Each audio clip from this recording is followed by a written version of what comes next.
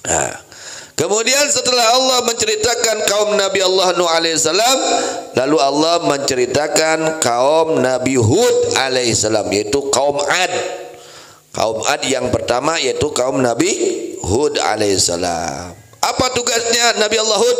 Yaitu mengajak kaumnya untuk beribadah kepada Allah, menyembah kepada Allah. Itu. Bagaimana ketika dia diajak mereka sebagian mereka orang-orang yang kafir dari kaum Nabi menghina. Waduh Hud ini gila. Oh, ya. Dianggap orang gila. Kenapa? Karena ngajak ibadah kepada Allah. Tuh, itu sudah dari sana dari dulu. Gak usah kaget ya. Kalau ada yang ngajak kepada kebaikan ya, ada yang daripada yang tidak. Sudah dari dulunya. Sunnatullah. Orsinilna or. Di mana orang kadang ngajak kadang kaset ayano resep aya ngewa. Tong kaget. Si etanya diajak kadang hadir kakak ngagogoreng urang kan baik dan tiba anak gitu ya urangna we sing sae niatna sing sae dina cara dakwahna kados kata mereka orang-orang kaum kaum Nabi Hud kami semua menyangka kamu dari orang-orang yang dusta dijawab oleh Nabi Allah alaihissalam wahai kaum kaula Wahai kaumku, tidak ada ke, ke, ke, kebodohan pada diriku. Aku ini adalah utusan Tuhan kalian. Tuhan mengu, yang mengurus, ngatur seluruh alam. Aku sampaikan kepada kalian risalah Tuhanku dan aku sangat menginginkan kepada kebaikan untuk kalian. Kalian agar selamat, agar bahagia di dunia, bahagia di akhirat. Bagaimana?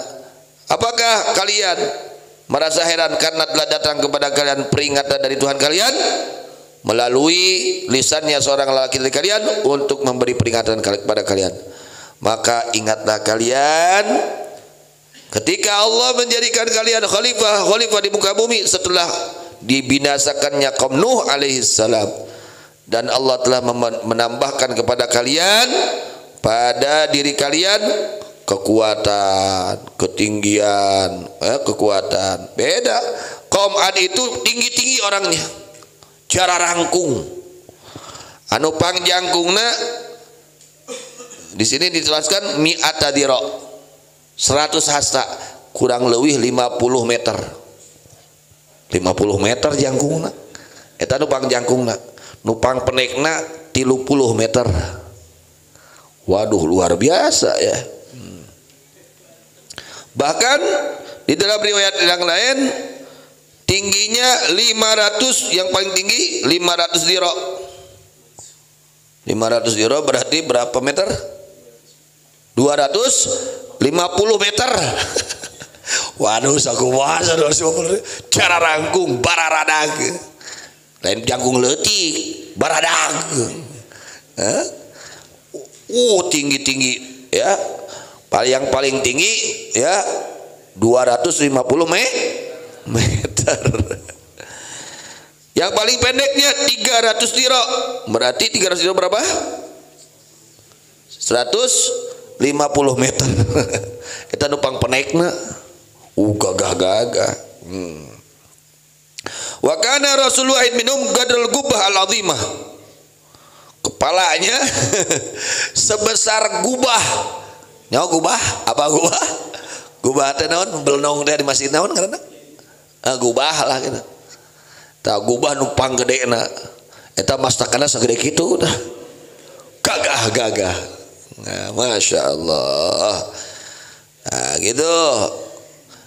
Diingatkan oleh Nabi Allah alaihissalam fadhkuru ala Allah la'allakum tuflihun. Kalian harus mengingat atas nikmat-nikmat dari Allah artinya syukuri nikmat. Kalian sudah diberi nikmat luar biasa oleh Allah syukuri nanti kalau kalian syukur atas nikmat Allah kalian menjadi orang-orang yang berun beruntung harap yang untung tak kudu syararukur nya kudu syukur atas nikmat Allah Apa bukti syukur? Dipakai ibadah. Nah, nikmat dari Allahnya digunakan dipakai ibadah, dipakai taat, dipakai amal soleh. Itu bukti syukur atas nikmat yang Allah berikan. Bagaimana ketika mereka diajak-ajak, diingatkan, diperingatkan? Oleh Nabi Allah alaihi salam qalu wajitana lina'budallaha wa dawu nadharu makana ya'budu abauna. Fatina bima ta'iduna in kunta sadiqin. Berkata mereka kaum Nabi Hud alaihi salam wahai Hud apakah engkau datang kepada kami semua agar kami semua menyembah Allah saja dan kami meninggalkan perkara yang disembah oleh orang tua orang tua kami. Oleh karenanya kamu telah ma, ma, apa menjanjikan kepada kami semua atas siksaan faktina bima taiduna. Coba buktikan apa? Mana? Mana tuh kata kamu kalau kamu kalian tidak bertakwa tidak menyembah kepada Allah kalian akan mendapatkan azab. Mana? Coba datangkan sekarang. Waduh nang? Tang nang peda awakna jarangkung ada 250 meter ya. Wah gagah gagah. Gagah tuh. Diberi kagah-gagahan deh kalau nang tangka Nabi Allah Hud alaihis coba buktikan kalau kamu benar buktikan ucapanmu. Mana? Mana adab dari Allah? Mana ancaman dari Allah? Gitunya lain narima dinasehatan. Ini orang jadi orang-orang yang nggak mau nerima nasihat itu kelakuan orang-orang kafir. Kelakuan orang-orang di antara orang akhlaknya orang-orang kafir itu tidak mau menerima nasihat. Gitu deh urang sararea.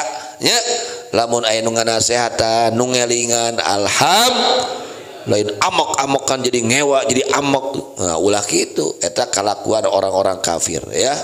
Kelakuan orang-orang kafir mereka tidak mau menerima nasihat.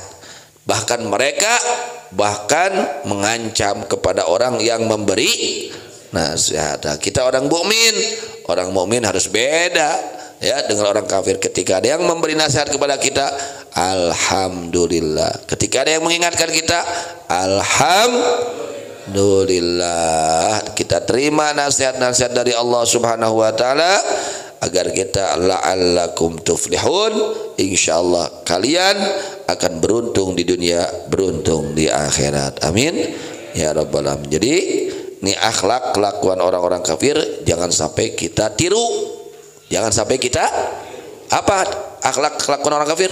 Salah satunya kaum Nabi Hud apa akhlaknya?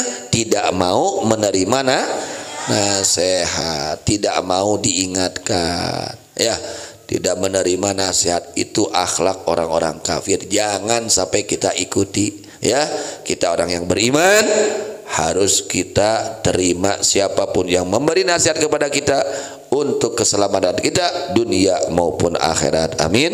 Ya rabbal alamin. Wallahu a'lam wal